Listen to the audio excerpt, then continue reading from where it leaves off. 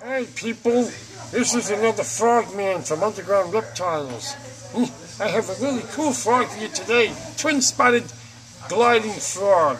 It's a Rhacophorus species. It's really cool, really small.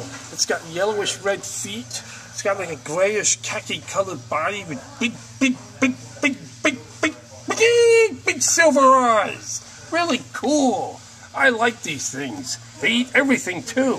They eat trucks, people, stamps. I'm a person. Would it eat me? Oh, yes, it would eat you, sir. Yes, it would. So just get out of here. So, I mean, this is a really cool little animal. So, you guys like tree frogs. This is a really cool little animal. I would get it if I was you, because if not, I'm going to get them all. I'm going to take them all off myself, because I'm greedy. all right, guys. Underground Reptiles, signing you off. I want to eat at Flanagan's. Oh, oh boy, Flanagan. Flanagan's. All right, we'll go to Flanagan's. And eat them. All right. Buy Bye, guys. Buy it before you eat them at Flanagan's.